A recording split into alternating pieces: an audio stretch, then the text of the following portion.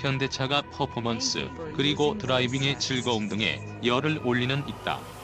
2세대 벨로스터는 물론이고 N 브랜드와 N 라인 등 보다 드라이빙에 집중할 수 있고 주행의 결을 높일 수 있는 차량들이 연이어 등장하고 있다.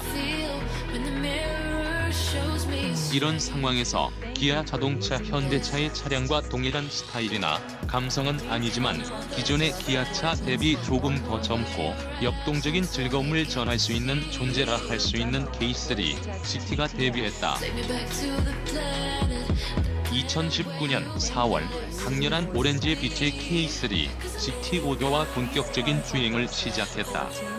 기아 K3 GT는 말 그대로 기아차의 컴팩트 세단 K3를 기반으로 한 차량이다. 그렇기에 실제 차량의 체격을 보더라도 K3와 상당히 유사한 것을 확인할 수 있다. 4510mm의 전장과 1800mm의 전폭 그리고 1440mm의 전구는 차량의 이름을 떠나 그 체격만 보더라도 K3와의 통일성을 떠올리게 하며 전체적인 형태에서는 과거에 판매되었던 K3 유로가 떠오르는 것도 사실이다.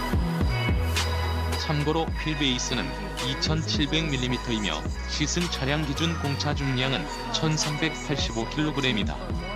타협할 수 있는 역동성 기아 K3 GT의 디자인은 리틀 스팅어라는 평가가 있던 K3의 디자인을 그대로 이어받으면서도 스포티한 감성을 한껏 강조하는 모습이다. 전체적인 부분에서는 스포티한 외건이자 제법 넉넉하게 다듬어진 해치백의 어딘가에 있지만 앞서 말했던 스포티한 디테일들을 효과적으로 배치하며 시각적인 부분의 매력을 한껏 끌어올리고 있다. 개인적으로 기본 사양이라 할 수 있는 K3의 디자인이 무척 심심하게 느껴졌던 만큼 K3 GT의 디자인은 조금 더 호감을 갖고 살펴볼 수 있었다. 전면을 보면 front 그릴을 더욱 강렬하게 다듬으며 붉은색 디테일을 꼼꼼히 채워 넣은 걸 확인할 수 있다. 여기에 한켠에 자리한 GT 엠블럼을 통해 스포티한 감성을 드러내며 검은색으로 칠해진 전면 body kit 하단과 front spoiler 등을 적용하여 더욱 강렬한 이미지를 강조했다. 전체적으로 잘 달리는 해치백의 감성을 노골적으로 드러내는 것이다. 강렬해진 전면에 비해 측면의 모습은 다소 심심하다. 깔끔하고 세련된 감성으로 다듬어진 루프 라인과 D필러, 그리고 뒤로 갈수록 상승하는 라인을 더한 도어 패널 등은 은연 중에 스포티한 감성을 드러낸다. 여기에 18인치의 스포츠 타이어를 장착한 스포티한 휠과 날렵한 사이드 스커트를 통해 존재감을 한층 강조한다. 개인적으로는 rear combination lamp의 높이가 다소 높게 느껴지지만 후면 디자인의 전체적인 균형감이나 밸런스는 우수하다 생각된다. 한국일보 모클팀 김학수 기자 날렵하게 다듬어진 rear combination lamp와 K3 고유의 독특한 디테일, 여기에 마치 rear diffuser를 떠올리게 하는 body kit과 dual 타입의 머플러 팁은 스포티한 존재에 무척 잘 어울리는 요소라 생각되었다. K3에 더해진 역동성 실내 공간은 크게 본다면 K3의 정체성과 스포티한 감성이 한 그릇에 담긴 모습이다. 실제 대시보드 및 전체적인 구성에 있어서는 K3의 것을 그대로 활용하고 붉은색 디테일과 스티치 등을 더한 요소들이 더해져 스포티한 감성을 살리고 있다. 새롭게 다듬어진 steering wheel은 D-cut 스타일로 다듬고 또 붉은색 스티치를 더했고 페달 세트 또한 알루미늄 페달로 구성되어 그 스포티한 감성을 한껏 더했다. 이외에도 시트 역시 붉은 스티치 및 디테일이 더해져 차량의 정체성을 노골적으로 드러내고 있다.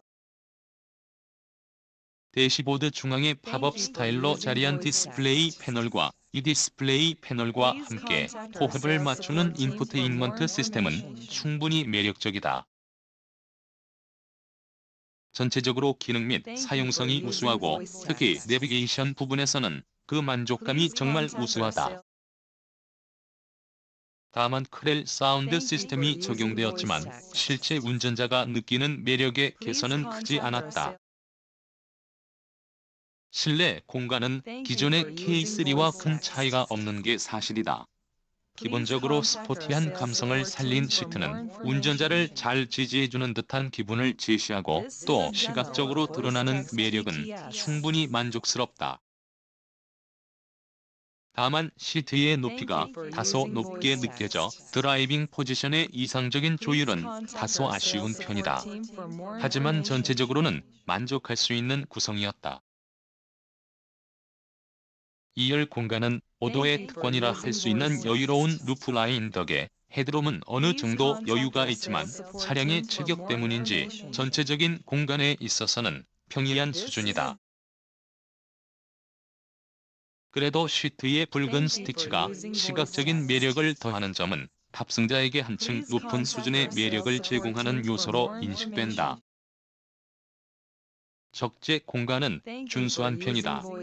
기본적으로 481의 적재 공간을 갖췄고 트렁크 게이트가 넓게 개방되는 덕에 짐을 적재하고 꺼내는 등의 행동의 편의성이 보장된다. 이와 함께 상황에 따라 2열 시트를 분할 folding할 수 있어 다양한 라이프 스타일 및 순간적으로 많은 짐을 옮겨야 할 때 충분한 만족감을 누릴 수 있다. 1.61 터보 GDI 엔진과 DCT를 품다 K3 GT의 보닛 아래에는 최고 출력 204마력과 27 0kg M의 토크를 내는 1.6L 터보 GDI 엔진이 자리한다. 기본적인 출력이나 토크는 달리기를 즐기기에 충분한 수치이며 여기에 7단 듀얼 클러치 변속기가 조합이 되어 주행 감각을 더욱 강조한다. 물론 K3와 같이 앞바퀴를 굴린다. 참고로 K3 GT의 공인 연비는 복합 기준 11.9kml 18인치 휠 타이어 기준으로 전체적으로 출력과 효율성의 균형을 맞춘 모습이다. 만족할 수는 없지만 가성비의 즐거움을 누리다. 기아 K3 GT와의 주행을 시작하기 전 시트에 몸을 맡겼다. 전체적으로 시트의 높이가 다소 높게 느껴지는 편이었지만 이외의 요소들, 즉 스티어링 휠이나 시트의 마감, 페달 셋 등의 요소들은 무척이나 마음에 들었다. 사운드는 나쁘지 않았으나 진동은 조금 거슬렸다.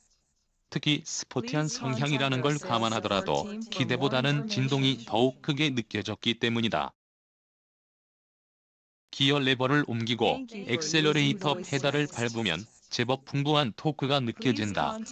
아주 순, 굵고 두터운 펀치력은 아니지만 운전자에게 충분한 만족감과 달리는 즐거움을 주기에는 부족함이 없다는 생각이 들었다.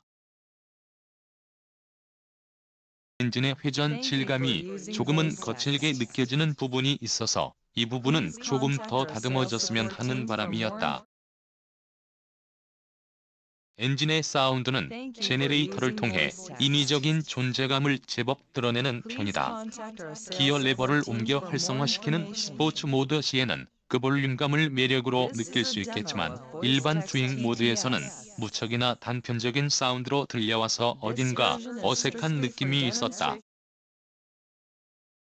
어쨌든 발진과 가속 그리고 고속 주행 등 국내 주행 환경에서 마주할 수 있는 대다수의 환경에서도 충분히 만족스러운 모습을 선보이며 스포티한 존재의 당위성을 명확히 언급하고 또 강조하는 모습이었다. 7단 듀얼 클러치 변속기는 때때로 오르막 구간에서 듀얼 클러치 변속기 고유의 히스테리를 부리는 모습이 있지만 기본적으로 우수한 변속 속도와 반응 등을 통해 운전자에게 한층 높은 만족감을 선사했다. 아마 대다수의 운전자가 변속기에 대해 큰 아쉬움을 느끼지 않을 것 같았다. 차량의 움직임은 스포티한 존재를 효과적으로 설명하는 모습이다. 프리미엄 모델의 안정감을 기반으로 한 역동성은 기대할 수 있었지만 기본적으로 노면에 대한 대응력은 물론이고 차량의 전체적인 움직임에서 즐거운 드라이빙을 느낄 수 있도록 했다. 하지만 K3 GT는 이보다 한층 부드럽고 여유로운 셋업을 가져가면서도 스포츠 타이어의 폭넓은 접지력을 충분히 활용해 드라이빙의 매력을 높이는 모습이라 그러한 구성이나 조율이 제법 합당하게 느껴졌다. 물론 순간적으로 강하게 전달되는 충격에 대해서는 제대로 대응하지 못하는 모습도 있고 또 제동력의 지속성 부분에서도 약간의 의구심이 드는 것도 사실이지만 분명 일상적인 수준에서 누리기에는 충분히 만족스럽고 준수한 모습이라 생각되었다. 좋은 점, 합리적인 구성에서 마련된 적절한 결과물 아쉬운 점, 결국 벗어나지 못하는 현대, 기아 고유의 드라이빙 감각 가성비 좋은 장난감을 마주하다. 기아 K3 GT는 말 그대로 가성비 좋은 그리고 적절하게 다루기 좋은 장난감과 같다는 생각이 들었다. 기본적으로 출력이 준수하며 차량이나 차량의 움직임에 있어서는 어느 정도 신경을 쓴 티를 드러내며 전반적인 만족감을 높인 점도 만족스럽다. 세그먼트 내 최고의 선택이라 말할 수는 없지만 충분히 납득 가능한 구성을 갖춘 존재라 생각한다.